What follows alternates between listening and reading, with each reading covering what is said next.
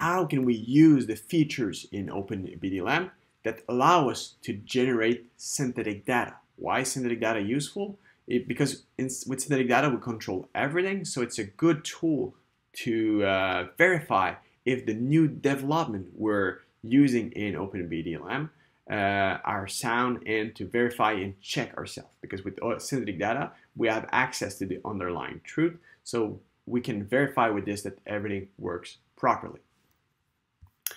So to start with, we launch OpenBDLM. Then what we want to do is to use the interactive tool. So option zero, option zero here. So we want to give a name. So we're going to call it example synthetic. Okay, return. So here for the first time, what we want to do is, does this aim at create synthetic data? The answer is yes. So I type Y. So how many time series do I want to simulate? In this case, it's a single one, so I'm going to type 1.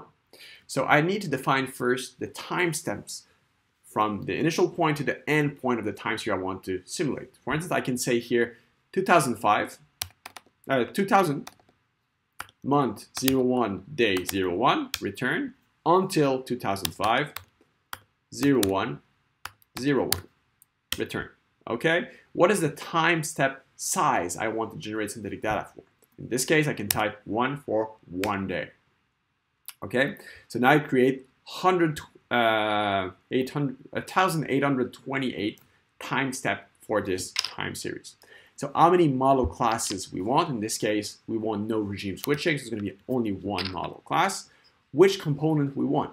So here, keep in mind that this synthetic data generation is equivalent to the run demo um, the run demo data that we've shown uh, in introduction in the first getting started video. So here the component are going to be 11 because we want a level. Then we want a periodic component with a yearly period, so 31, and 41 for our residual autoregressive term, so type return. It builds automatically the model as well as synthetic data. So it shows here that data is available from 2000 till 2005, it shows here that it has a constant time step for all the time step of 24 hours. You can close this one. We can see the amplitude of the raw data. So this is simply a periodic component. It's very simple. And we have no missing data. Okay, so here, uh, what we can do is we can type tree to estimate hidden state values. So directly type tree, and we can use, for instance, the Kalman filter to do it, option one, and it's going to automatically estimate the hidden states. So this is what we have here. We have the autoregressive term, which is pretty small. We have the second periodic component, first one, and what we have here is the local level. So what you can see here, initially we have very high uncertainty. Why? Because here we didn't estimate our initial hidden states. So this is why we have a lot of uncertainty to begin with because it starts to learn. And the more data we collect, the more all of this gets smoothed out. And we have uh, here a close match between the truth, which is the red dash line, and our estimated hidden states represented by the black line as well with its confidence interval. Same here for AR. close this one, Q.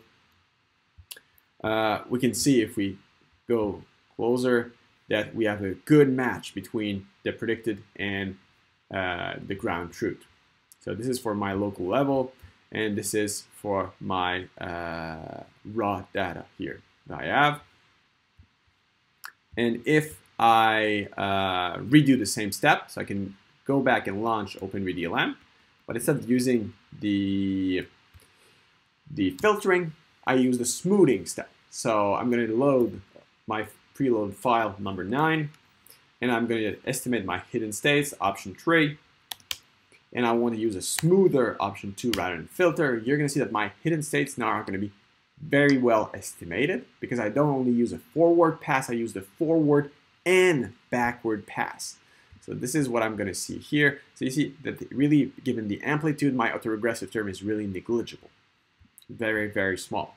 So I can see that now I don't have the initial uncertainty that I had in the previous case when using filtering. Why? Because now I use back and forward. So forward pass for filtering, backward pass then. So we can see raw data here. So this is how you can use the feature of generating synthetic data.